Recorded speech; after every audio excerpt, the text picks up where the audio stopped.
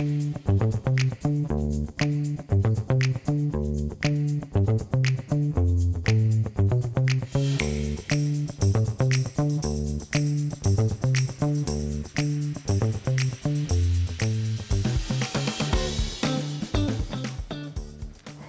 الله الرحمن الرحيم. ازيكم؟ عاملين إيه النهارده؟ يوم جديد وحلقة جديدة خطيرة. ان شاء الله يا رب تعجبكم. عاملين وصفتين لذاذ جدا. الناس اللي بتحب تعجن أو الناس اللي خايفة تعجن. ما تخافوش. أقول لكم دلوقتي هنعمل فطيرة ظريفة جدا جدا. هنعمل عجينة حلوة قوي وهنحشي الفطيرة الحلوة دي بالفراخ. وصفة حلوة حلوة قوي. إن شاء الله تعجبكم. والوصفه الثانية هنعمل سلطة الجرجير بالسماق. وصفة ظريفة جدا جدا وسهلة قوي برضو وطعم ال- السماق مع الجرجير بقى وبصل وبتاع بتبقى تحفة. إن شاء الله يا رب الحلقة تعجبكم النهارده. فاصل بسرعة ونرجع على طول بعد الفاصل نعمل الفطيرة الخطيرة دي. خليكم معانا.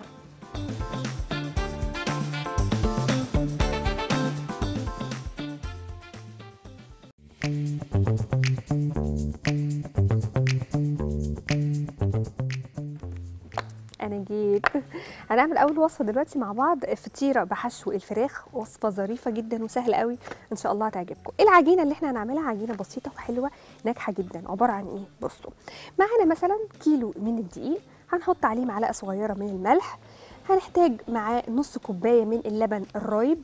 لو ما عندكيش لبن رايب استخدمي اللبن العادي خالص وحطي عليه معلقة كبيرة من الخل وسيبيه كده مثلا دقيقة ولا حاجة. هتلاقيه بقى رايب معاكي وبقى حلو جدا. ممكن نستبدل الخل بعصير ليمون برضو مفيش مشكلة. هنحتاج نص كوباية من خليط زيت نباتي على زيت زيتون يعني شوية زيت نباتي على زيت زيتون براحتك. عايزة تستخدمي زيت زيتون بس أو زيت عادي بس مفيش مشكلة. هو بس محتاجينه يكون نص كوباية. معلقة كبيرة من الخميرة آه، معانا كمان سكر معلقة صغيرة من السكر آه، معلقة صغيرة من ال baking powder ومية دافية برضو إيه عشان نعجن العجينة وتتلم معانا وبس خلاص. دي كده العجينة. نيجي بقى للحشوة. معانا فراخ متقطعة حتت صغيرة أو راك أو صدور براحتك خالص هي هتبقى للحشوة. معانا بصلاية متقطعة حتت صغيرة معانا فصين من الثوم المفروم آه، ممكن شوية جزر مبشور كده حبيتين من الطماطم المبشورة أو مرف... يعني متقطعة صغير جدا يا تبقى مبشورة أو متقطعة صغير براحتك. معانا فلفل رومي أخضر متقطع برضو حتت صغيرة قوي آه، معلقة صغيرة من الكاري معلقة صغيرة من بهارات الفراخ ملح وفلفل وشوية زيت. بس كده. ممكن نستخدم جبنة موتزاريلا وممكن لأ براحتك يعني. بس ولا أي حاجة تانية إن شاء الله. إحنا بنحتاج على الوش بس قبل ما ندخل الفطيرة الحلوة دي الفرن. صفار بيضة مخفوقة مثلا ممكن نخففها بشوية لبن أو حاجة. أو صفار البيضة بس كده. ومعانا سمسم وحبة البركة عشان نرشها على الفطيرة من فوق. وبس خلاص إن شاء الله تعجبكم. أول حاجة عايزة أحضر الحشوة عشان عقبال ما الفراخ تستوي نكون عملنا العجينة مع بعض. الطاسة هنا سخنة أهو. هحط لها زيت. معلقتين كده ولا حاجة كبار من الزيت. ومعايا الفراخ. فراخ آه، متقطعة مكعبات صغيرة. وراك أو صدور براحتك أو ميكس ما بين الوراك والصدور زي ما تحبي. كده إيه عايزة بس الزيت يسخن شوية أكتر من كده. وأحط بقية الفراخ. وأطلع بقى بولة كبيرة. هحط الدقيق. معلقة صغيرة من الملح. ونقلب الكلام ده كده مع بعضه. هنحط السكر والخميرة وال baking powder وخليط الزيت النباتي مع زيت الزيتون واللبن الرايب. وهجيب مية دافية. وانزل بقى هنا الفراخ الأول. أهو كده.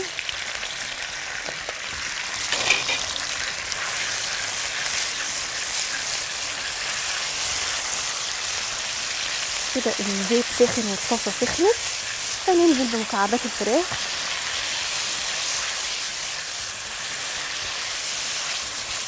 اسيبها كده إيه تستوي شوية عقبال ما أعجن العجينه عايزة أجيب مية دافية.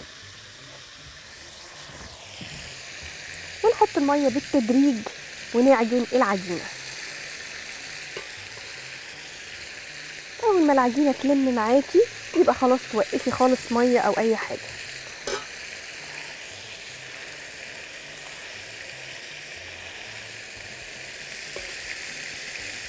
الناس اللي بتخاف تعجن ما تخافوش خالص جربوا. حتى لو هتجربي في كوباية دقيق ولا كوبايتين دقيق. الموضوع بسيط خالص ما فيهوش ابدا أي حاجة بالعكس. يعني أنا بحس إنه ثيرابي أصلا إن الواحد يكون بيعرف يعجن وفي أوقات لما يكون الواحد عنده طاقة سلبية أو حاجة يمسك له عجينة كده يعملها بتطلع حلوة قوي. بالذات وانت عندك طاقة سلبية يعني فاهمة قصدي؟ هتلاقي العجينة معاكي خطيرة. كده انت عارفة انت لو عندك طاقة إيجابية مش هتبقي قادرة تعملي حاجة. آه لكن الطاقة السلبية بقى خرجيها في الكلام ده. وطبعا لو عندك عجان هيريحك خالص. لو انت يعني خايفة من حكاية العجن دي بس زي ما أنتوا عارفين أنا بحب اعجن بإيدي قوي. أول ما العجينة كده تلم معايا خلاص. مش هحتاج أحط لها ولا مية ولا حاجة. وهفضل بإيدي كده اعجنها دقيقتين ثلاثة علشان تبقى ناعمة معايا أكتر. وطبعا إحنا حاطين لها خميرة. فعايزينها تخمر تاخد وقتها كده وتخمر ويتضاعف حجمها. وأنا معايا واحدة خمرانه نرجع البست كده ورا. تقيلة.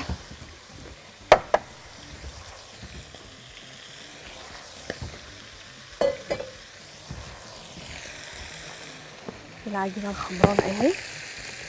بصوا خطيرة. تحفة. عايزة أجيب لها رشة دقيق كده من تحت الحوض. هنا كده.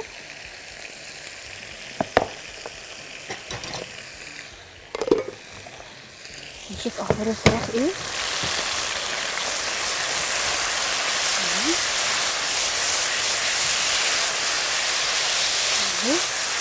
الفراخ خطيرة. نحط لها بقى البصل.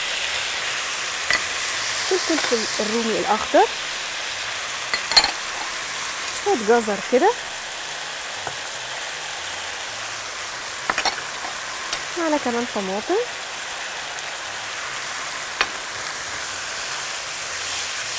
نقلبهم كده مع الفراخ. يدبلوا كده مع بعض. وهحط كمان الثوم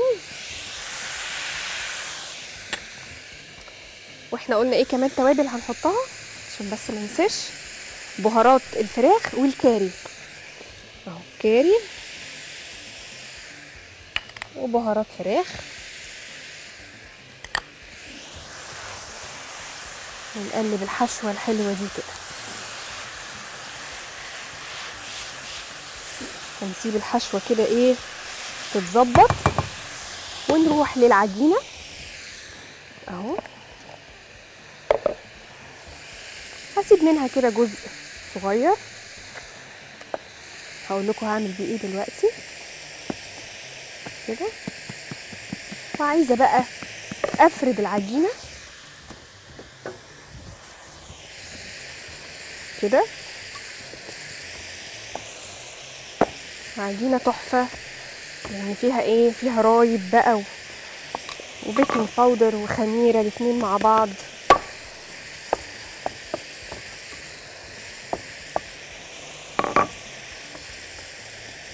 كده بجيب بقى صينية. أي صينية عندك مفيش مشكلة خالص. أنا معايا الصينية الحلوة دي. احطها هنا كده. كده أهو. بصوا بالشكل ده. وأي بقى إيه زيادات كده من العجينة. هقطعها بإيدي. كده.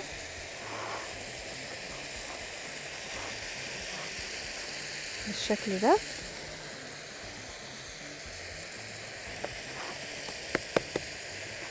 وأعمل إيه بقى؟ أحط الحشوة.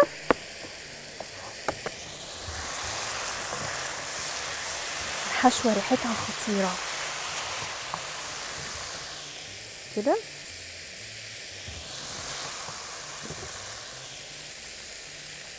في النص.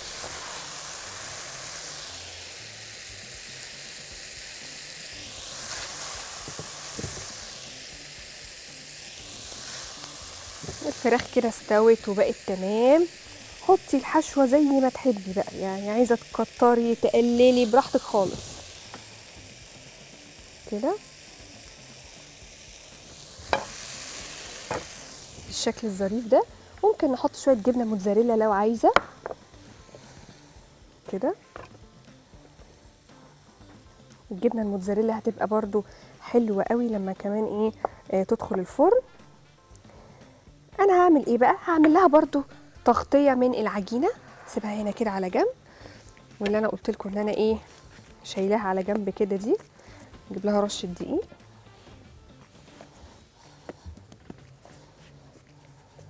كده. وبرضو نفردها. تقدروا أنتوا بقى تعملوا أي فكرة على وش ال- الفطيرة الحلوة دي.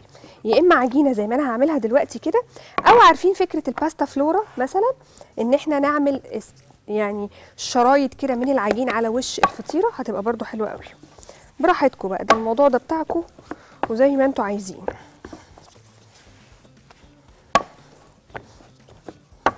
كده؟ أهو. كده إيه بس اخليها آه توسع معايا واحطها هنا كده واقفل الفطيرة الحلوة دي كده من الجناب اهو. ممكن بقى بالسكينة نعمل حركات كده مثلا.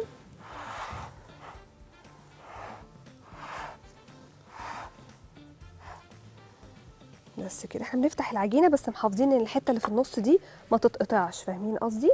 حبه البركة والسمسم. آه، صفار البيضة اللي بعيد قوي ده. صفار البيضة. وندهن كده. لو مش عايزة تدهنيها بصفار البيضة ممكن بلبن حليب أو قهوة سريعة الذوبان متخففة بشوية مية.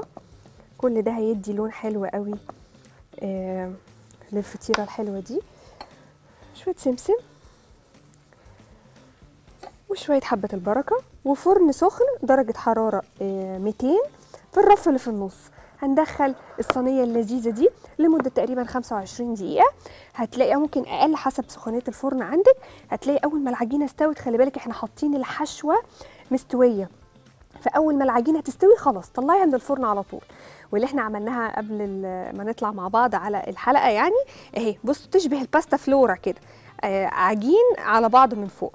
أو زي اللي أنا عملتها دي هتبقى برضو ظريفة جدا بالسكينة كده عملناها فتحات تحفة بقى طعمها يجنن والحشوة جوه حشوه الفراخ خطيرة والعجينة نفسها سهلة قوي فجربوها وبالهنا والشفا. هدخل الصينية اللذيذة دي الفرن ونرجع بعد الفاصل نعمل سلطة جرجير بالسماق خطيرة. خليكم معانا.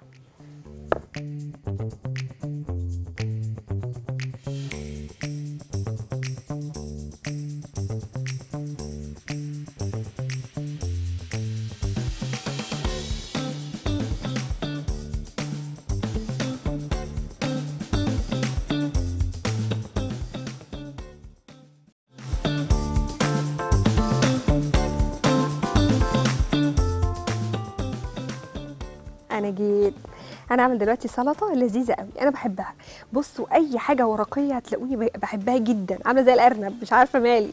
بحب الجرجير وأحب الخس أحب البقدونس أحب ال- الشبت أحب الكزبرة. بصوا وأعملهم سندوتشات مع جبنة حاجة يعني ببقى مش قادرة.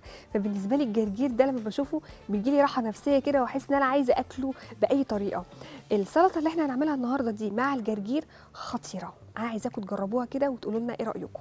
بصوا معانا ربطه جرجير مثلا أو حاجة مغسولة بقى كويس ودايما زي ما بقول لكم الخضروات الورقية عشان تغسليها حلو لو أي حاجة متعلقة فيها تقع وتبقى زي الفل هنغمرها في طبق غويط مليان مية الحنفية العادية وعليها معلقة كبيرة من الخل وسيبيها أربع خمس دقايق وبعد كده اشطفي ورق الجرجير ده تحت المية الجارية بس كده.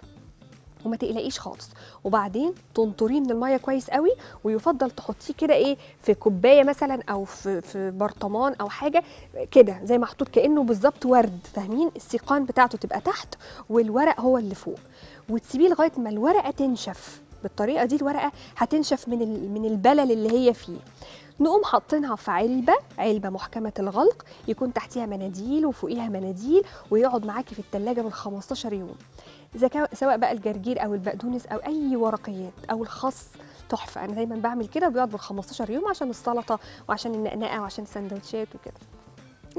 معانا بقى مع بقية المكونات معلقتين كبار من الخل الأبيض معلقة كبيرة من السماق آه، بصل أحمر متقطع شرايح كده رفيعة معانا كمان عصير ليمونة كبيرة ملح كمون ورشة سكر. بس كده. هتطلع معاكم خطيرة. هجيب بوله كده صغيره ونحط فيها السماق كده والكمون ملح وفلفل. هو الفلفل كده جدعانه من عندي عشان أنا بحب الفلفل. وخل وهحط كمان عصير ليمونة. كده. وهي رشة سكر. ونجيب ماشي تعالي انتي. ونقلب الدريسنج الحلو ده. وأنا حطيت كمون ولا لسه ما حطيتش؟ حطيت كمون باين؟ مش عارفة مش فاكرة. مش عايزة أحط تاني لأكون حطيت. كده. والبصل. بصل. البصل الأحمر. كده؟ هل بس كده يعني ممكن نضيف إضافات ولا لأ؟ آه ممكن. ممكن نحط خيار وممكن نحط طماطم. هيبقى برضو حلو قوي. هي التتبيلة دي هتدبل البصل زي ما أنتم شايفين فهتخلي السلطة طعمها حلو. مش هتحسي ان انت بتاكلي بصل كده حامي وغريب لا لا لا.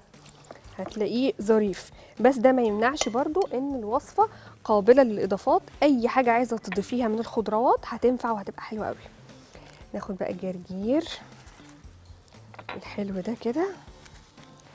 نوزعه كده في الطبق. إيه الحلاوة دي؟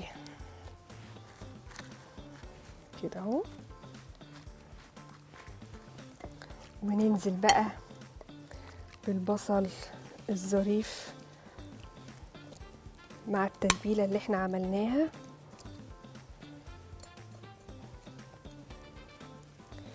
البصل بقى بالتتبيلة دي هيبهت على الجرجير اللي إحنا حاطينه فهتخليه طعمه تحفة. كده اهو. بس. وبرده معلقة زيت زيتون كده جدعانة من عندي. بس كده. عايزاكم تجربوه هتنبسطوا منه جدا. وممكن نفس الخلطة دي تتحط في ساندوتش وعليها بقى مثلا كفتة عليها فراخ بانيه آه شيش طاووق أي حاجة من الحاجات اللي هي في السندوتشات دي تبقى فرشة تحت تحفة. أو يتاكل كده جنب أي حاجة ممكن جنب الفطيرة دي هيبقى ظريف قوي قوي إن شاء الله يعجبكم وتجربوه. الحلقة خلصت. عملنا أول وصفة مع بعض الفطيرة الظريفة دي فطيرة عملنا عجينة سهلة قوي. آه ما خدتش ابدا أي حاجة مقاديرها كلها هتخليها عجينة كده حلوة فاخرة. وحشيناها بالفراخ. فراخ شوحناها مع توابل وبصل ظريفة جدا جدا طعمها تحفة. وعملنا الفطيرة الحلوة دي ورشينا عليها سمسم وحبة البركة. جربوها وما تخافوش من العجين وقولوا لي إيه رأيكم. والوصفة الثانية سلطة سهلة جدا ممكن تبقى فرشة للسندوتشات حلوة قوي قوي عبارة عن جرجير وبصل وسماق وليمون وخل وكمون. إن شاء الله تجربوها وبالهنا والشفا. بشكركم جدا إن أنتوا بتتفرجوا عليا. شوفوني كل يوم الساعة واحدة ونص على قناة النهار في برنامجكم أكلة بيتي. باي باي. Thank you.